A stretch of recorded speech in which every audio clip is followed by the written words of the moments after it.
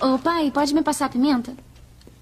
Olhe como ela sorri, pensando que pode me passar a perna. Não pode ter feito sozinha. Alguém a ajudou. Mas quem? Terá sido ele? Não. Ele não é esperto bastante para fazer uma coisa assim. Já está difícil ler a caixa de cereais? Cereais crocantes de milho.